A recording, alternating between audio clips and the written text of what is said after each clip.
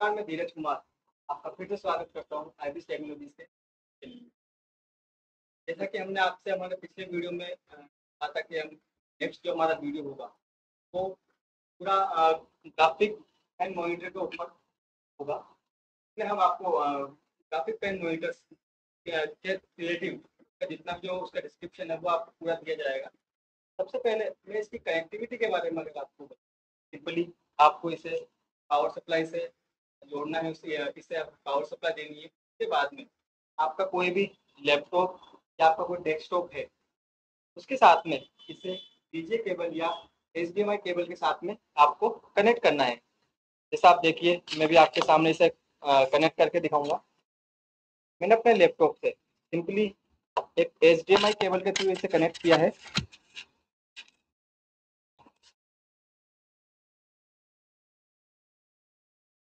आप देखेंगे, जैसे मैंने इसे एचडीएमआई से कनेक्ट किया तो जो मेरे लैपटॉप का डिस्प्ले है, वो एज एट इज़ एक ग्राफिक मॉनिटर के ऊपर दिखाई दे रहा है। इसके बाद में जैसा कि ये टच मॉनिटर है, ये पेन के थ्रू वर्क करता है, अभी आप देखिए इसके ऊपर जो मेरा पेन है, उसका कोई भी टच का इंप्रेशन यहाँ पर तो नहीं हो रहा है।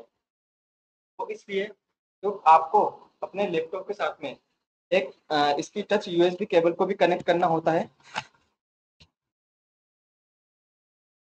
ये यूएसबी केबल कनेक्ट करने के बाद में। आप देखेंगे यहाँ पर जो मेरा टच है, वो प्रॉपर वर्क कर रहा है। तो कनेक्टिविटी अगर हम देखें तो सिंपली आपको अपने लैपटॉप या डेस्कटॉप से एचडीएमआई केबल और एक टच यूएसबी केबल कनेक्ट करनी होती है। उसके बाद में आप अपने ग्राफिक मोनिटर पर वर्क करना स्टार्ट कर सकते हैं।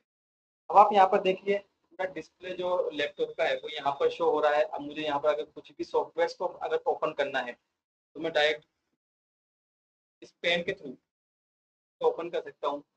ये पेन के थ्रू क्यों वर्क करता है? क्योंकि इसका जो डिस्प्ले है, कई आप डिस्प्ले आप ये देख रहे हैं इलेक्ट्रोमैग्नेटिक डिस्प्ले है। तो जो पेन है पेन भी इलेक्ट्रोमैग्नेटिक पेन तो जब ये पेन इसके डिस्प्ले के ऊपर टच करता है, तभी इसका टच वर्क करेगा। आप देखिए, अगर मैं इस इस ग्राफिक मॉनिटर का बेनिफिट क्या है? नॉर्मली आपने देखा होगा फिंगर टच डिस्प्ले भी आपको काफ़ी मिल जाते हैं बट उन्होंने एक चीज़ होती है, जैसे मान लीजिए आप कुछ चीज़ कुछ वर्क कर रहे हैं, कुछ सॉफ्टवेयर के ऊपर राइटिंग वगैरह कर रहे हैं, गलती से अगर आपका हाथ इसके ऊपर टच हो जाए तो आपका जो मोनिटर है, वो आपके हाथ का भी इम्प्रेशन ले लेता है। यहाँ पर आप देखेंगे, जब मैं इसके ऊपर पेन से राइटिंग कर रहा हूँ, और अगर मेरा हाथ भी इस पर रखा हुआ है तो भी मैं यहाँ पर इजीली वर्क कर पा रहा हूँ। जैसे मैं सॉफ्टवेयर के ऊपर कुछ राइटिंग करके दिखाता हूँ। अगर जैसे मैं यहाँ पर कुछ राइटिंग करूँगा तो मेरा जो हाथ का इंप्रेशन है, वो इस ग्राफिक मॉनिटर के ऊपर दिखाई नहीं दिखाई देगा। अगर मैं यहाँ पर कुछ राइट कर रहा हूँ तो मैं पेन कलर से यहाँ पर लिखता हूँ।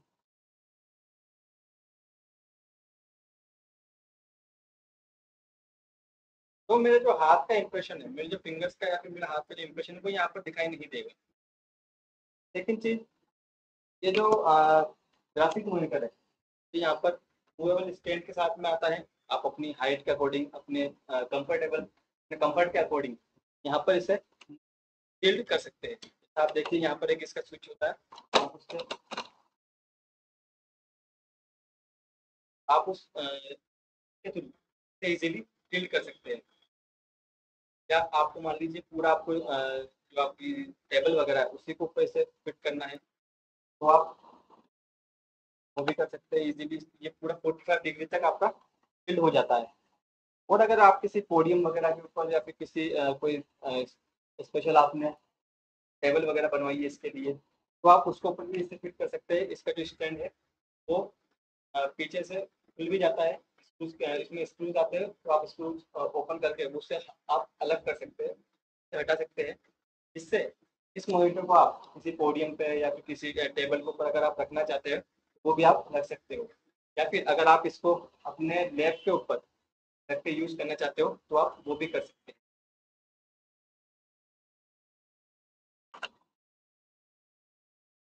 उसके बाद आप देखिए तो भी आप सॉफ्टवेयर वगैरह आप यूज़ करना चाहते हैं तो आप वो भी आप यहाँ पर इजीली कर सकते हैं यूज़ यहाँ पर आपको फाइल्स वगैरह बोर्ड पर इंपोर्ट करवानी है। वो आप करवा सकते हैं। यहाँ पर जो भी आपको राइटिंग वगैरह करनी है।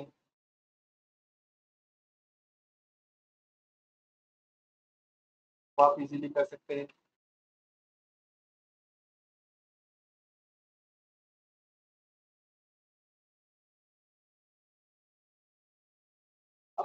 फ़र्स्ट ऑफ़ ऑल क्या है जब इसके अंदर हम पेन से राइटिंग करते हैं तो जो स्मूथनेस है, वो आपको इतनी अच्छी देखने को मिलती है कि जैसे आप किसी बुक के अंदर या फिर किसी कॉपी के अंदर आप राइटिंग कर रहे हो, उस तरीके की आपको यहाँ पर स्मूथनेस देखने को मिल जाती है।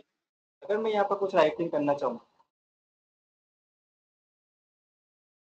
तो मैं आराम से इसको ऊपर स्पीड से राइटिंग करनी है, जो भी मुझे अंडरलाइंस वगैरह करनी है, वो मैं इजीली इसको ऊपर कर सकता हूँ यहाँ पर। या फिर अगर आपको जैसे आप चाहते हो कि कम बजट के अंदर आप जैसे कई फैकल्टीज होती है, ज़्यादा बजट नहीं होता, वो फिर भी रिकॉर्डिंग्स वगैरह करना चाहते हैं। आप चाहते हो कि जो आप बोर्ड सॉफ्टवेयर आप राइटिंग कर रहे हैं, और इसके अलावा जैसे आप चाहते हो कि जिस भी आपका जो मटेरियल उसको आप जो पढ़ा रहे हैं साइड में आपकी फ़ोटो भी आती रहे, इसके थ्रू आप वो भी कर सकते हैं। तो ग्राफिक मोनिटर का यूज़ करके इस तरीके से आप अच्छे वीडियोस बना सकते हैं स्टूडेंट्स को पढ़ा सकते हैं सॉफ्टवेयर के थ्रू आपका जो स्टडी मटेरियल है, उनके थ्रू पीडीएफ फॉर्म में पीपीटी फॉर्म में है, उन पर आप एनोटेशन कर सकते हैं। या आपको डायरेक्ट ब्राउज़र के थ्रू किसी टॉपिक के थ्रू आपको बच्चों को पढ़ाना है तो उन पर भी आप डायरेक्ट ब्राउज़र पे हुआ, या फिर आपको जो भी एप्लीकेशन वगैरह है, उन पर आप राइटिंग वगैरह कर सकते हो। साथ में आपकी साइड में आप चाहते हो कि आपकी एक वीडियो आपकी साइड में चलती रहे, जिससे आप बच्चों को दिखाई देते रहे तो वो भी आप इसके थ्रू आप इजीली कर सकते हो।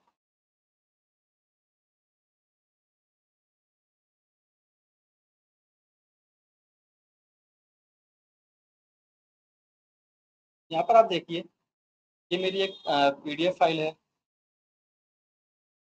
अब ये मेरा सॉफ्टवेयर है, इसके ऊपर मैं राइटिंग करना चाहता हूँ। तो मैं इसके ऊपर राइटिंग कर सकता हूँ इजीली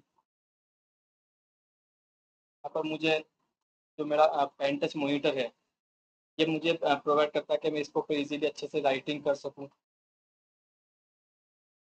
यहाँ पर जो पीडीएफ फ़ाइल वगैरह है हमारी ऊपर अगर आप कुछ एनोटेशन वगैरह करना चाहते हो हाईलाइट वगैरह करना चाहते हो तो वो आप कर सकते हो। या फिर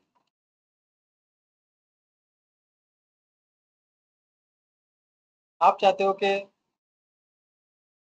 आपका जो सॉफ्टवेयर वगैरह है डेस्कटॉप है, वो आपको शो करना है आपको सॉफ्टवेयर वगैरह, वो आप, उसके थ्रू आप बच्चों को पढ़ाना चाहते हो, या फिर आपके कुछ पीडीएफ फाइल्स वगैरह है, आपके जो स्टडी मटेरियल है, उन पर आपको एनोटेशन वगैरह करने हैं तो वो भी आप यहाँ पर कर सकते हैं।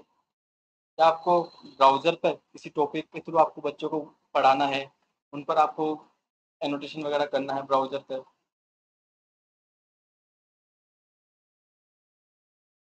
तो वो भी आप यहाँ पर कर सकते हो डायरेक्ट ब्राउज़र के ऊपर भी आपको राइटिंग करने के लिए यहाँ पर सॉफ्टवेयर में आपको फैसिलिटी आपको मिल जाती है। ग्राफिक मोनीटर का यूज़ करके आप पेन के थ्रू इसके ऊपर इजीली राइटिंग कर सकते हो। इसके अलावा आप देखिए, ये जो ग्राफिक मोनीटर है, ये कहाँ कहाँ पर यूज़फुल है? किन किन लोगों के लिए आप ये यूज़फुल है?